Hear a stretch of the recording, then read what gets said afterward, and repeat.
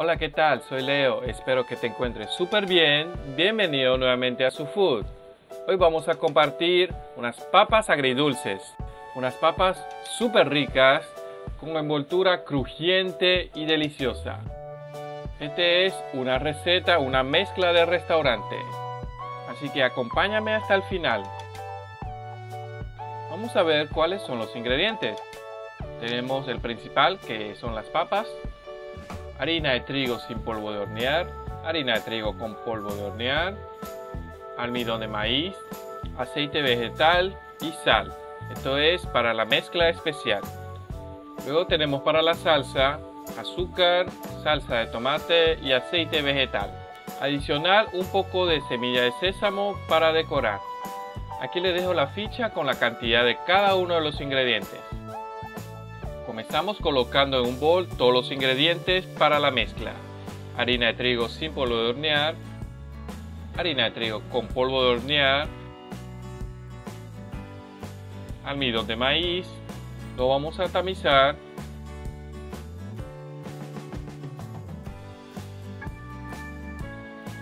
Colocamos la sal y el aceite vegetal vamos a agregar el agua poco a poco hasta que logre la consistencia que queremos. La mezcla tiene que quedar algo parecido, que se sienta así, que se va corriendo, pero que no deje de ser bastante espeso, para que cuando se una con la papa, entonces no se vuelva muy líquido. Lo vamos a observar más adelante. Vamos ahora a pelar las papas. Luego lo cortamos, lo vamos a cortar de esta manera para que quede con triangulitos pequeños. Asimismo, a un lado preparamos un envase con agua para así sumergir la papa mientras estamos cortando para que no se oxide y no se ponga negro y a su vez también quitarle el almidón de la superficie. Cuando toda la papa esté cortada, entonces revolvemos un poco la papa con el agua y lo escurrimos. Mientras tanto, entonces encendemos el fuego en una olla vamos a preparar el aceite para freír.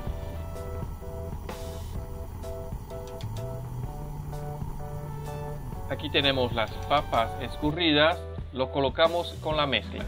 De preferencia dejamos que la mezcla esté en reposo por lo menos por unos 15 minutos para así lograr que todos los ingredientes de la mezcla quede bien homogéneo. Lo revolvemos y mientras tanto vamos viendo que se va cubriendo toda la papa. Cuando veamos que la papa esté envuelto totalmente, entonces lo vamos a colocar a freír. Lo vamos a colocar a freír a fuego medio hasta que esté doradito. Las papas lo tenemos que ir colocando uno por uno y vamos a dejar freír hasta que la parte de abajo se forme antes de comenzar a revolverlo no hay que preocuparse de que la papa queden pegadas, ya que lo podemos ir rompiendo y cortando dentro del aceite. Igualmente, cuando colocamos la papa, no lo colocamos uno al lado del otro, lo vamos colocando en diferentes partes, en diferentes extremos, para que así ya uno se vaya cociendo mientras el otro nuevo llega. Así será mucho más fácil al momento de separarlo. Lo revolvemos de vez en cuando hasta que quede así bien doradito, entonces lo vamos a sacar. Y para que las papas queden bien crujientes y súper delicioso, lo tenemos que freír por segunda vez. Esta segunda vez vamos a colocar fuego en alto y lo vamos a freír por uno máximo dos minutos para que esté bien tostadito. Lo colocamos.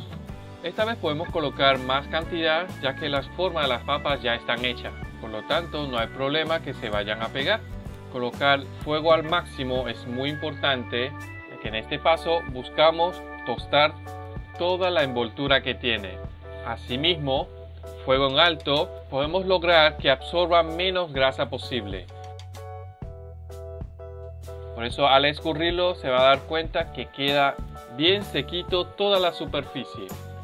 Cuando esté tostadito un poco, volviéndose color café, estará listo.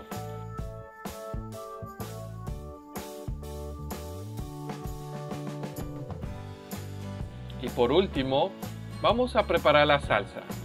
Encendemos el fuego En un sartén agregamos el aceite, el azúcar y salsa de tomate. De ahí lo vamos a ir revolviendo para que tanto el azúcar como la salsa de tomate se una con el aceite y se vuelva una salsa. A lo que esté así, todo bien disuelto, entonces agregamos todas las papas. Lo vamos a ir revolviendo con fuego bajo hasta que la papa esté totalmente envuelto. Si puedes, entonces puedes hacer esta maniobra dándole vuelta al sartén o si no, fácilmente podemos utilizar unas pinzas y vamos dando vuelta a las papas. Y por último, antes de sacarlo, para que quede aún mejor todavía, vamos a colocar semilla de sésamo tostado. Igualmente lo revolvemos por última vez para que quede todo bien envuelto. Y está listo nuestras papas agridulces estilo restaurante para servir.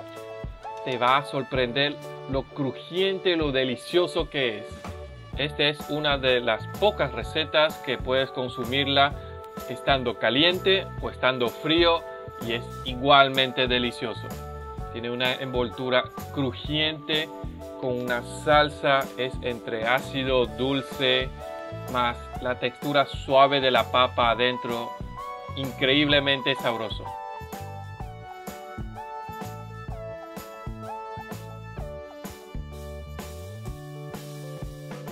Si te gustó este video, te invito a suscribirte activa la campanita para que no te pierdas de ningún video nuevo. Dale like, deja un comentario aquí abajo de qué tal te pareció, comparte con tus familiares y amigos y nos vemos para la próxima. Chao chao.